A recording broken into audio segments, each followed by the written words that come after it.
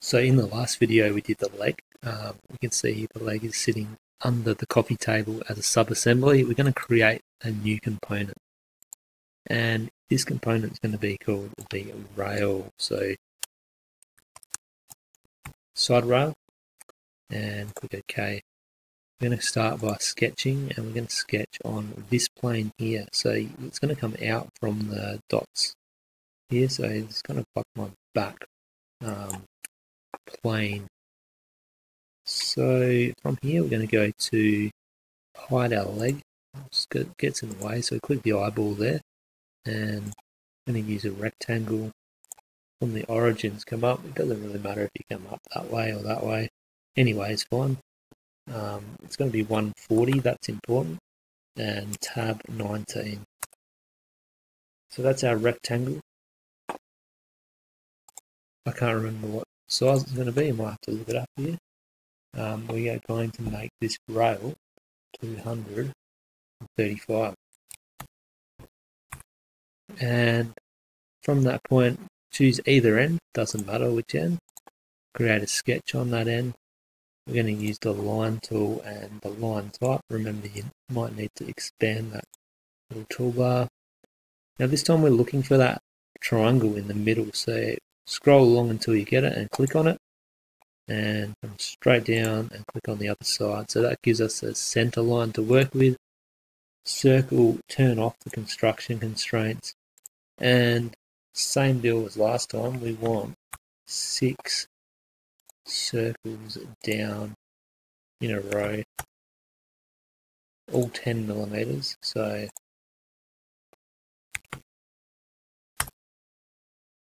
press C for circle, that's a shortcut. Try not to get it to snap to the middle.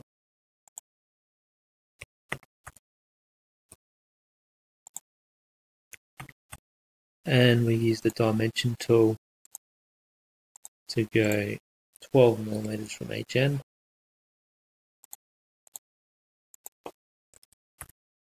And then 22 millimeters from each center.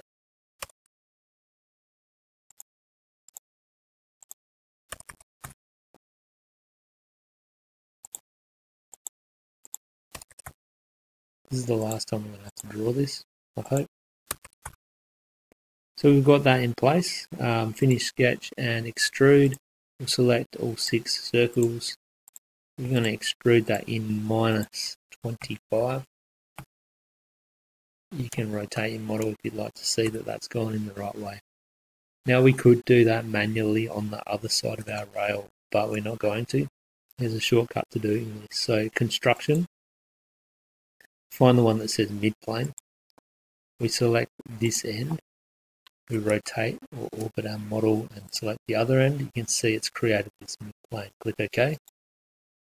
Now we're going to use the mirror feature. So mirror under the create toolbar. We're going to make sure this says features in type and we select that feature and the mirror is this mirror plane here. Press enter and you'll see that you've got exact copy on the other side. We've created that um, this here. It's best to hide it straight away, otherwise it gets frustrating when we've got all these construction planes showing in our model. So we'll save that. Make sure you save regularly in Fusion. It is likely to, likely to crash at the worst time for you. Um, reselect your leg here. Can actually come up and activate the coffee table activation dot there. And you can see you've got two components. So we're going to join this. Um, we're going to use the um, joining tool here. And we're going to join from this component here across to this component here. So at the center of each circle you'll see it comes together. And we have got a leg and a rail now we're going to duplicate this, so we're going to make this sub-assembly here and then duplicate it across to the other side. Um, to do that, we will do the following. We're going to go over to the leg, and we're going to right-click the leg and go copy, and then up to the copy table, the, the very top component on our um, window and we're going to go paste new. It's very important that you go paste new instead of paste. We'll pull this one out. We're not trying to match it at the moment. We just want to have that gap there. I'm going to rotate it around. And you can see um, we have not got the right connection in here. So we've set up the front here to be correct. Uh, we've got this one correct because we're going to put a rail like this in the back. Um, but this side here, or sorry, the actually facing the front now, um, is not right at the moment. So we're going to change that one. You can pull it out of the way for now because nothing's locked in place. And we'll zoom in a little bit and select one of these kind of uh, holes here. So come over to the leg and click the activation dot. So this one should be highlighted now or shaded. The rest should be kind of clear. And we're going to click that kind of center dot.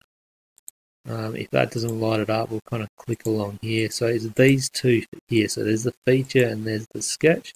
We want to right click and delete the feature and then right click and yeah, we'll delete the sketch. I was going to think about editing it there for a second, but we won't. We're going to select this kind of same surface and go sketch. Um, when you get this warning here, when we're working in this uh, kind of multiple component mode, always go capture position. We're going to go to align. We're going to do exactly the same. So I lied before when I said that was the last time we're going to draw those circles. Um, this will be the last time we draw the circles. You'll be getting good at it by now, we don't need me to show you. Kind of skip over it a bit. Rest my voice while I'm doing this one.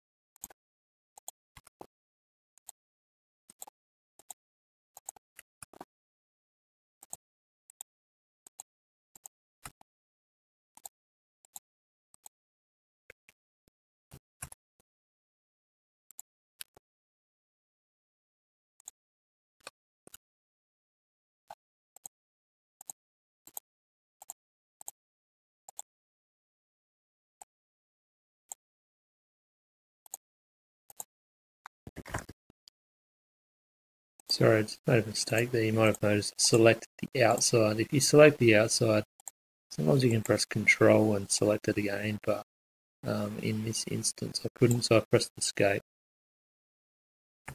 and started again. So there we go, we've got um, replaced those fronts with the um, correct pins. Um, don't worry about lining it up.